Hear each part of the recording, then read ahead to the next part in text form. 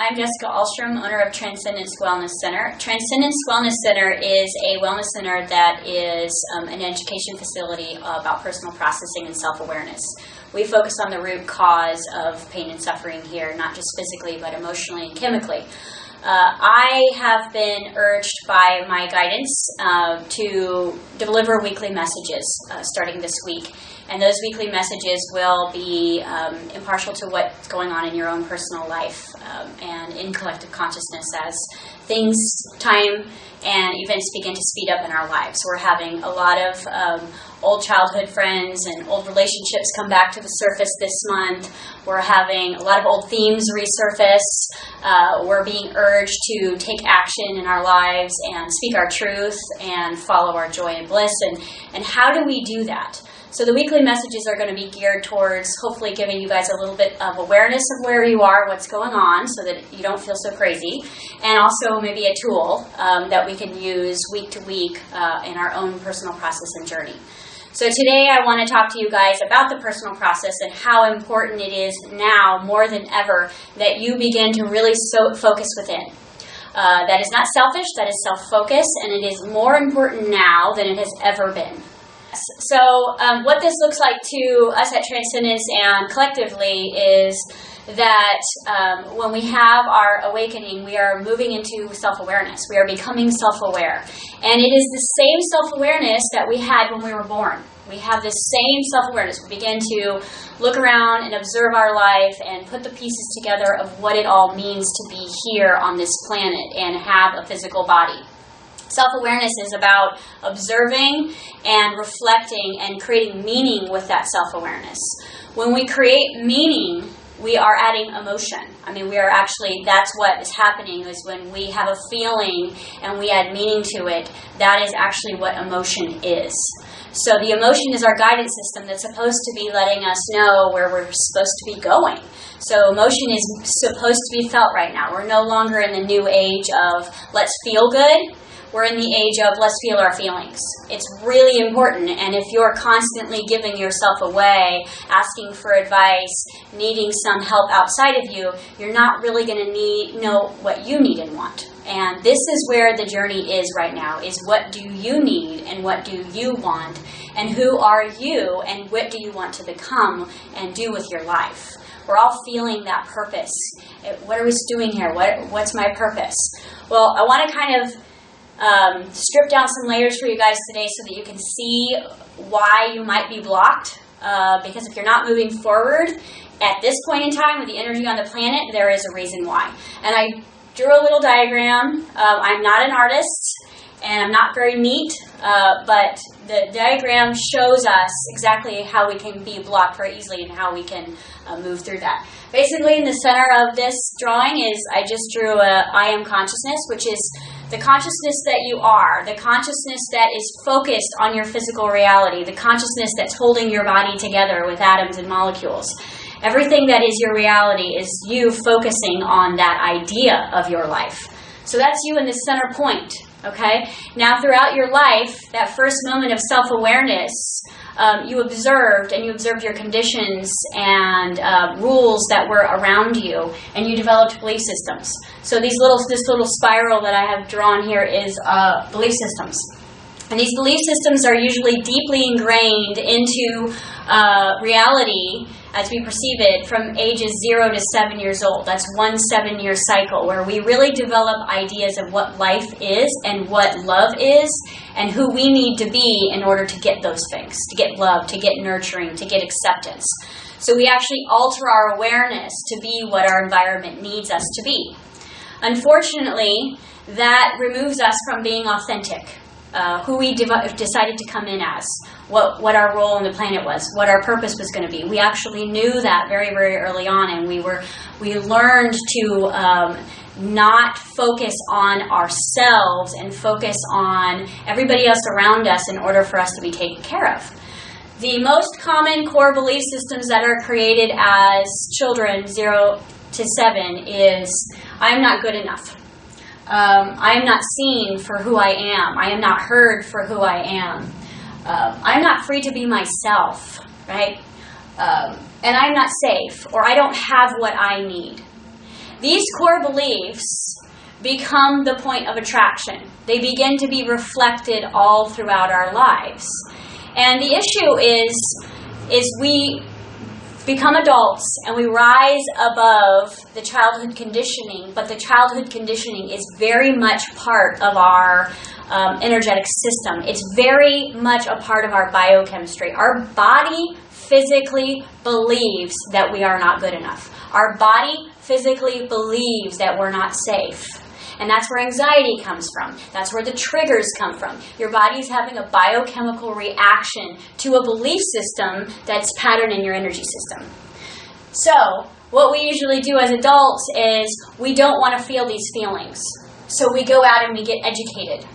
We go out and get tons of certifications. We go out and become a Reiki master. We go out and get a master's degree and a PhD, and we thrive at work and we we create a home and we uh, go to the gym and we try to eat well. And all of those things are laced with those core beliefs of I'm not good enough, I'm not seen, I'm not safe. So there's aspects of our lives that begin to reflect those core beliefs in the work that we're doing. So I might be a Reiki master and I am completely broke. I have no money to pay my bills. So that would be education plus core belief system manifesting a physical reality where you're not living your purpose. Uh, another one would be, um, you know, not feeling good enough at work, always getting passed over for the for the uh, the raises or the promotions, or not being appreciated in your own home, um, not having a voice with your spouse. These are all things that we manifest through our core beliefs so going out and getting education and training and the better job and the better relationship and the bigger house will actually serve you less purpose instead of just going back in and changing some of these core beliefs and focusing on the personal process, which is a lot of teachers are calling the shadow aspects of ourselves. Anything that we are not um, looking at within ourselves, our own secrets, our own insecurities, our own flaws that we feel are holding us back, we can't out train that. We can't run away from those things because those are the things that are being projected in the now, and those are the things that are being asked to clear. So I ask you guys this week, instead of going out and making that class a priority, make yourself the priority. Sit down with yourself and ask yourself, do I feel seen? Do I feel loved? Am I nurtured? Do I have the things that I need in my life? And if not, where is that coming from? Uh, 90% of the time, it's coming from childhood. So a lot of this work can be done within yourself about just reestablishing a friendship with yourself, reestablishing a connection with yourself, and asking yourself these big questions. I want to move over to the second part of today. Um, hopefully that was helpful. Uh, right now, we're in the process of a very fast evolution on the pro- uh, on the planet, and the world is waking up. Um, we can see that on Facebook. We can see that with lots more organic grocery stores going up. We can see that with new schools coming to the surface. We see the change. We feel it. We're all waking up.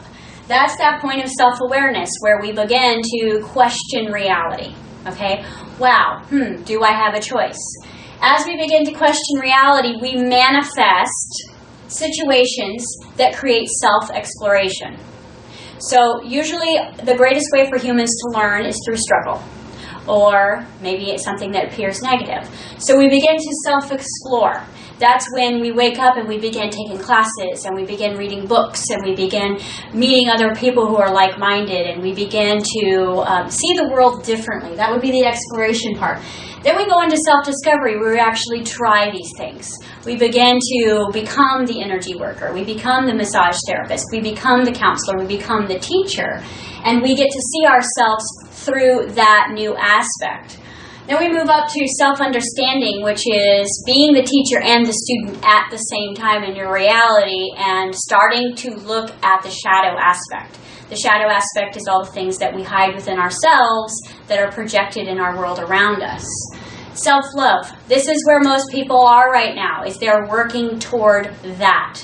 Self love is all about being authentic and not judging yourself for it. Um, the world will constantly judge you until you stop judging yourself. So to be a spiritual person in a uh, on a planet that is still um, dense can be difficult at times. But once we were let go of that self judgment and start self nurturing and giving ourselves the self focus that we need and working through our personal process, we connect with self love and anchor ourselves in collective consciousness as love. And only from then we can move into mastery. So, no certifications or classes or anything is actually going to give you the mastery. What is actually going to be happening is you're going through a journey of self. Everything is about you. Everything is about what you need, what you want, where you are, where you want to be, and desire and challenge and focus and relationships and body issues. Those are all the teachers right now. Our greatest teachers right now on the planet is time management. What do you do with it? Do you have time for you? How is your health? That's your second teacher. How is the health of your body? If your body is in alignment with um, thriving and um, healing itself, there's some aspect of you that is disconnected from yourself. Uh, relationships. Relationships are our greatest reflections. We can find out exactly who, where our greatest inspirations and where our biggest challenges are just in the people around us, and it's all about us. And um, the last one is money and abundance. Do you have what you need to create your own reality? And if you don't have that, it's from a core belief somewhere on your timeline that is saying that you don't feel safe or nurtured.